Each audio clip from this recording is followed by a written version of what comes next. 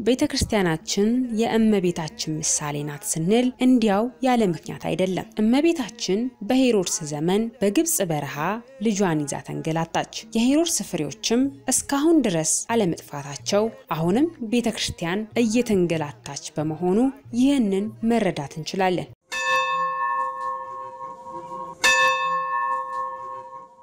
ይህ የእማማ ሚዲያ ነው።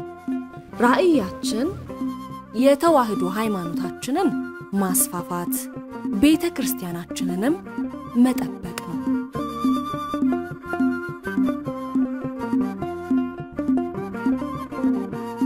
ሰላም ጤና ይስጥልኝ።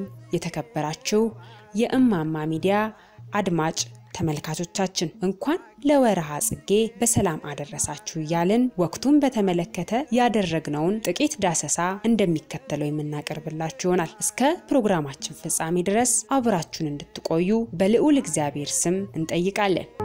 አክሊለ ጽጌ ማርያም አክሊለ ጽጌ አክሊለ ጽጌ ማርያም አክሊለ ጽጌ አክሊለ ጽጌ ማርያም አክሊለ ጽጌ አክሊለ ጽጌ ማርያም አክሊለ ጽጌ ታላቁ የቤተ ክርስቲያናችን ሊቅ ቅዱስ ያሬድ ታላቁን የዜማ ድርሰት ድጓን ከወቅታት ጋር አስማምቶ ለማስተማር ይመቸው ዘንድ በአራት ዋና ዋና ክፍሎች ከፍሎታል። የዮሐንስ ድጓ፣ የአስተምሮ ድጓ፣ የጾመ ድጓና የፋሲካ ድጓ ናቸው። እነዚህም አራት ወቅታት በውስጣቸው ንዑሳን ክፍሎች አሏቸው። ከእነዚህም መካከል ዮሐንስን ብንመለከት ከመስከረም አንድ እስከ ህዳር አምስት ያለው ጊዜን ይሸፍናል። በውስጡ አራት ንዑሳን ክፍሎች አሉት። እነርሱም ከመስከረም አንድ እስከ ስምንት ዘመነ ዮሐንስ ይባላል። ከመስከረም 9 እስከ 15 ያለው ዘመነ ፍሬ ይባላል። ከመስከረም 16 እስከ 25 ያለው ደግሞ ዘመነ መስቀል ይባላል። የመጨረሻውና ካነሳነው ርዕሳችን ጋር የሚገናኘው ከመስከረም 26 እስከ ህዳር 6 ያለው ሲሆን ዘመነ ጽጌ በመባል ይታወቃል። በዘመነ ጽጌ ቤተ ክርስቲያናችን ድንግል ማርያምን ታስባለች፣ በአበባም ትመስላታለች። በአበባ ለመመሰሏ ብዙ ምክንያቶች አሉ። ፍሬ ሕይወት ክርስቶስን ማስገኘቷ ቀዳሚው ምክንያት ነው። ጠቢቡ ሰለሞን የአበባን ወቅት ለድንግል ማርያም ሰጥቶ ሲናገር እነሆ ክረምት አለፈ፣ ዘመኑም አልፎ ሄደ፣ አበቦች በምድር ላይ ተገለጡ፣ የዜማም ጊዜ ደረሰ፣ የቁርኔም ቃል በምድራችን ተሰማ፣ በለሱ ጎመራ፣ ወይኖቹም አበቡ፣ መዓዛቸውንም ሰጡ። ወዳጄ ሆይ ተነሺ፣ ውበቴ ሆይ ነይ በማለት ዘምሮላታል። መኃልየ ምዕራፍ 2 ከቁጥር 11 እስከ 13። አባ ጽጌ ድንግል የተባለው ሊቅም ማኅሌተ ጽጌ በተሰኘው ድርሰቱ አክሊለ ጽጌ ማርያም ቀጸላ መንግስቱ ለጊዮርጊስ ለጊዮርጊስ ሹመት ሽልማት የሆንሽ አበባ የአበባ ዘውድ አንቺ ነሽ በማለት እመቤታችንን በአበባ እየመሰለ አመስግኗታል። ሶርያዊው ሊቅ ቅዱስ ኤፍሬም ለእመቤታችን በደረሰው የዕለተ እሁድ ውዳሴዋ ላይም ሳይተክሏት ውሃም ሳያጠጧት የለመለመች የአሮን በትር ነበረች። ያለ ዘር ሰው ሆኖ ያዳነን እውነተኛ አምላካችን ክርስቶስን የወለድሽልን ሆይ አንቺ እንደርሷ ነሽ ብሏታል። በዚህም እመቤታችን ያለ ዘር አብእሲ በግብረ መንፈስ ቅዱስ ጸንሳ ፍሬ ሕይወት ፍሬ መድኃኒት የሚሆን ክርስቶስን መውለዷን ይመሰክርልናል። ቅዱስ ኤፍሬም በዚሁ ዕለት ውዳሴዋ ላይ ደግሞ ከእሰይ ስር የወጣሽ መዓዛሽ ያማረ አበባ አንቺ ነሽ ሲል አወድሷታል። ሊቃውንተ ቤተ ክርስቲያን እመቤታችንን በመልኳና በደም ግባቷ በአበባ ይመስሏታል። ይሁን እንጂ እንቡጥ አውጥቶ በሂደት ፈክቶ የፍሬ ጊዜ ሲደርስ እንደሚደርቅ እንደ ምድረ በዳ አበባ ግን አይደለችም። ወርሃ ጽጌ የእመቤታችንን ስደት የምናስብበትና ስለ ስደት ብዙ ልንል የምንችልበት ወቅት ነው። ቤዛችን አርአያችን ኢየሱስ ክርስቶስ ስደትን ባርኮ ባስተማረበት የአንቀጸ ብፁዓን ትምህርቱ ስለ ጽድቅ የሚሰደዱ ብፁዓን ናቸው መንግሥተ ሰማያት የእነርሱ ናትና ማቴዎስ ምዕራፍ አምስት ከቁጥር 10 ያለው ስለ ጽድቅ መሰደድ ማለት ከሀገር ሀገር መሰደድ ማለት ሳይሆን በሕይወታችንና በኑሯችን ሁሉ የእውነት ምስክሮች ሆነን መኖር ማለት ነው። ስለ እውነተኝነታችን ሃይማኖታችንን ስለ መጠበቃችን ከከሃዲያን ከመናፍቃን እንዲሁም ከሌሎች በሐሰት መነቀፍ፣ መሰደብ፣ መዋረድ በመጣብን ጊዜ ደስ ሊለን እንጂ ሊከፋን አይገባም። አያይዘንም ጽድቅ ሲነሳ ብዙ ቅዱሳን ይጠቀሳሉ። ስለ ጽድቅ ብለው ከተሰደዱ ሁለት ቅዱሳንን ስንመለከት አንደኛ የሆኑት አባታችን አቡነ አረጋዊ ናቸው። አክሊለ ጽጌ ማርያም አክሊለ ጽጌ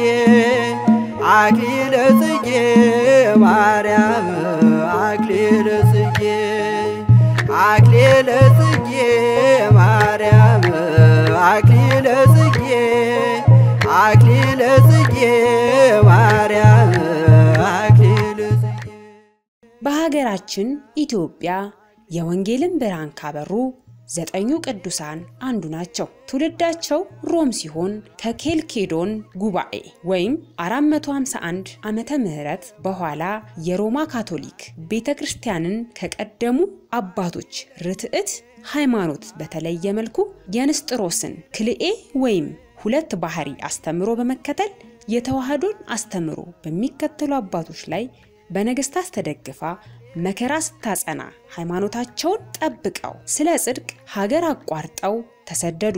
በሀገራችን ኢትዮጵያ ገዳማትን በማስፋፋት ስርዓተ ምንኩስናን በማጽናት የጠበቋትን ርትዕት ሃይማኖት አስፋፍተዋል። ራሳቸውን ለእግዚአብሔር ስላስገዙ እግዚአብሔር ስጋውያን ፍጥረታት እንዲገዙላቸው በሰጣቸው ጸጋ ክፉ ዘንዶ እንኳን ተገዝቶላቸው የደብረ ዳሞን ተራራ ለመውጣት ተጠቅመውበታል። በጸሎታቸው በመንፈሳዊ ተጋድሏቸው እግዚአብሔርን ደስ ስላሰኙ ሞተ ስጋ ሳያገኛቸው ከአምስቱ ዓለማተ መሬት አንዷ ወደ ሆነችው ወደ ብሔረ ሔዋን እንደ ሄኖክና እንደ ኤልያስ ተነጥቀዋል። እናም የስደት ነገር ጎልቶ በሚታሰብበት በዚህ በወርሃ ጽጌ በየዓመቱ ጥቅምት 14 ወደ ብሔረ ሔዋን መነጠቃቸውን እያሰብን እንዘክራቸዋለን።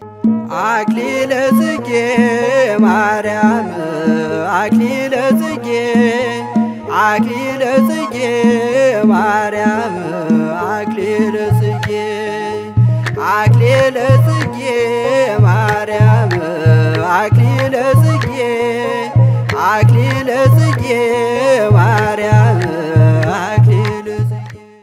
ሌላኛው ስለ ጽድቅ ብለው የተሰደዱት ጻድቁ ገብረ ክርስቶስ የቁስጥንጥንያ ንጉሥ የቴዎዲዮሲዮስ ልጅ ነው። ሚስት አግብቶ የአባቱን ንግስና ወርሶ እንዲኖር በሰርግ ዳሩት። እርሱ ግን ምድራዊ ደስታን የናቀ ነበር። ስለ ክርስቶስ በፈቃዱ መነቀፍን የሚፈልግ ነበር። የተዳረችለት ሚስቱንም በግብር ሳይደርስባት ሕገ እግዚአብሔርን እየጠበቀች እንድትኖር አደራ ብሏት ወደ ምናኔ ወጣ። በአንዲት ቤተ ክርስቲያንም 15 ዓመት በመንፈሳዊ ሕይወት ተጠምዶ ኖረ።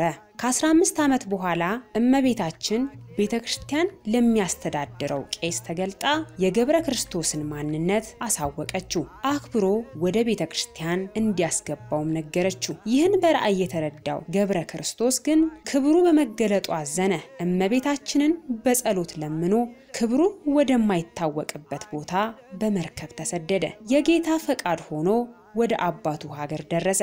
በአባቱ ቤት ደጃፍ ከድሆች ጋር ለ15 ዓመት ውሾች እየተንከባከቡት ኖረ። በአባቱ አገልጋዮች ያለበደሉ መከራ ሲጸናበት ምንም የበቀል ልብ አልነበረውም። ጥቅምት 14 በሞተ ስጋ ሲለይ እናትና አባቱ በበራቸው የነበረው ድሃ ልጃቸው መሆኑን እግዚአብሔር በተአምራት ገለጠላቸው። ጻድቅ ገብረ ክርስቶስም ነፍሱ በገነት አረፈች። ከጌታ ቃል ኪዳንም በምግባር የደከምን እኛ ኃጢአተኛ ልጆች መታሰቢያውን እያደረግን የመንግስተ ሰማያት ወራሾች እንድንሆን ይረዳናል። ወርሃ ጽጌን አንስተን የእመቤታችን ስደት ስናነሳ በዚሁ በዘመነ ጽጌ ተከብረው የሚውሉ ሁለት አበይት ክብረ በዓላትን ስለ ጽድቅ ብለው የተሰደዱ ቅዱሳንን አነሳን እንጂ ስለ ጽድቅ ብለው የተሰደዱ ብዙ እንዳሉ በቅዱሳት መጻሕፍት ማግኘት እንችላለን። አክሊለ ጽጌ ማርያም አክሊለ ጽጌ አክሊለ ጽጌ ማርያም አክሊለ ጽጌ አክሊለ ጽጌ ማርያም አክሊለ ጽጌ አክሊለ ጽጌ በተአምረ ማርያም እንደተዘገበው ጌታችን በተአምራት በበረሃው መካከል ለእናቱ ለዮሴፍና ለሰሎሜ ንጹሕ ምንጭ አፈለቀላቸው። ይህች ምንጭ ለተሳዳጆች መልካም መጠጥ ሆነላቸው። አሳዳጆች ሊጠጧት ሲጠጉ ግን መራራ ትሆንባቸው ነበር። በሲኦል ኋላም በገሃነመ እሳትም ከዚህ የባሰ ፍርድ ይጠብቃቸዋል። ለምድራውያን ባለስልጣናት እንዲሁም የእግዚአብሔርን አገልግሎት ለግላዊ ጥቅምና ዝና ለሚያውሉ ምንደኞች ሲሉ እውነተኞችን የሚያሳድዱ የሐሰት መልእክተኞች የሄሮድስን ወታደሮች ይመስላሉ። ፍጻሜያቸውም ከሄሮድስ ወታደሮች የከፋ ይሆናል። ቅዱስ ዮሐንስ ስለ ሃይማኖት ምስክርነቱ እውነትን ከመናገሩ የተነሳ ምድራውያን ባለስልጣናት ወደ ፍጥሞ ደሴት በግዞት እንዲወሰድና እንዲታሰር አድርገውት ነበር። በግዞት በመታሰሩና እንደ ሌሎች ቅዱሳን ሐዋርያት ተዘዋውሮ ወንጌልን ባለማስተማሩ ያዝን ይተክዝ ነበር። የለመኑትን የማይነሳ ጌታም በራእይ ሰማያዊ ምስጢርን ገልጾለት ዮሐንስ ራእይ የምንለውን የመጽሐፍ ቅዱስ ክፍል ጽፏል። በስጋ የተሰደደው ስደት ሞት ሳያገኘው ወደ ብሔረ ሔዋን ከመሄድ አልከለከለውም። ይልቁንም ወደ መንግሥተ ሰማያት መሸጋገሪያ ሆነው እንጂ። ይህ የከበረ ሐዋርያ ዮሐንስ የእመቤታችንን የስደቷን ርዝመት በተናገረበት አንቀጽ እንዲህ አለ። ሴቲቱም በዘመኑ ሁሉ 1260 ቀን በዚያ ትጠበቅ ዘንድ እግዚአብሔር ወዳዘጋጀላት ቦታ ወደ በረሃ ሸሸች። ዮሐንስ ምዕራፍ 12 ከቁጥር 6 ይህ 1260 ቀን ወይም 42 ወራት ወይም 3 ዓመት ከስድስት ወር የእመቤታችን የስደት ርዝማኔ ነው። ዛሬም መጨረሻው የማይታወቅ የክርስቲያኖችና የቤተ ክርስቲያን ስደት ከጀመረ ሰነባብቷል። ሄሮድሳውያን ትላንት እመቤታችንና ቅዱሳንን እያሳደዱ እንደኖሩት ሁሉ ዛሬም በዚህ ዘመን ማብቂያው የማይታወቀው የቤተ ክርስቲያንን ስደት እየተመለከትን እንገኛለን። በክርስቶስ ክርስቲያን የተሰኘች በደሙ የተዋጀን የክርስቶስ ልጆች የድንግል ማርያም የአስራት ሀገር በሆነች በዚች በኢትዮጵያ የሦስት ሺህ ዓመት ዘመን ያስቆጠረች ይህች ቅድስት ቤተ ክርስቲያን የብዙ ቅርስ ባለቤት የሆነች ለብዙ ስልጣኔ ምንጭ የሆነች ሀገርን እንደ ሀገር እንድትቀጥል ምክንያት የሆነች ፈጣሪ በጥበቡ ያበጃጃትን በደሙ በመሰረታት በዚች ቅድስት ቤተ ክርስቲያን ላይ እየተዘባበቱባት ይገኛሉ።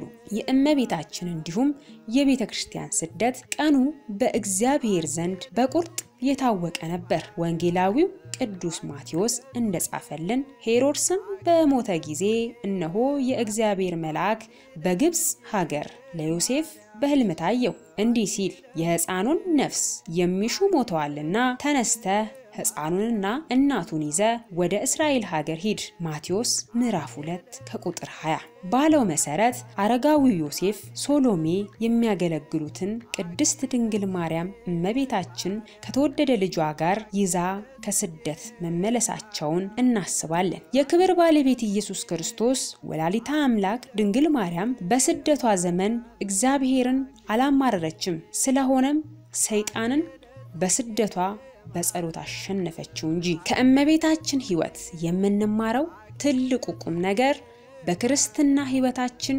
እውነተኞች በመሆናችን ከሚመጣብን መከራ አንዱ ሲያልፍ ራሳችንን ለሌላ መከራ ማዘጋጀት እንጂ አንዲት መከራ ስላለፍን በትዕቢት ተይዘን ራሳችንን በግብዝነት ማጽደቅ እንደማይገባ ነው።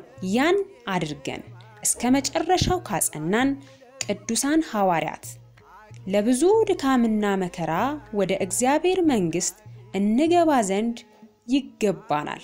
ሐዋርያት ሥራ ምዕራፍ 14 ከቁጥር 22 በማለት የመከሩንን አስበን የጽድቅን ነገር መቀለጃ ከሚያደርጉ አላዋቂ መናፍቃን የማታለል ትምህርት ርቀን ተስፋ የምናደርጋትን አማናዊት ደብረ ቁስቋም መካነ ዕረፍት ኢየሩሳሌምን ሰማያዊትን ሊያወርሰን የታመነ አምላክ አለን። እግዚአብሔር ቅድስት ተዋሕዶ ቤተ ክርስቲያናችንን ይጠብቅልን። እኛንም ጽድቅን ከሚያሳድዱ ሄሮድሳውያን ተለይተን ስለ ጽድቅ የተሰደዱ ወይም ክርስቶሳውያን ጋር ተባብረን በቃል ኪዳናቸው ተደግፈን በሕይወታችን እንድናስደስተው ቅዱስ ፍቃዱ ይሁንልን። የድንግል ማርያም የስደቷ በረከት ከሁላችን ጋር ይሁን። እነዚህን መረጃዎች አቀናጅተን ያቀረብንላችሁ የተለያዩ መጽሐፍት ዋቢ በማድረግ ሲሆን ተስፋዬ ምትኩ ሰባቱ አጽዋማት የሚለው መጽሐፍ አንደኛው ነው። አክሊለ ጽጌ ማርያም አክሊለ ጽጌ አክሊለ ጽጌ ማርያም አክሊለ ጽጌ አክሊለ ጽጌ ማርያም አክሊለ ጽጌ አክሊለ ጽጌ ማርያም አክሊለ ጽጌ። ስለተከታተላችሁን አብራችሁን ስለነበራችሁ እግዚአብሔር ያክብርልን።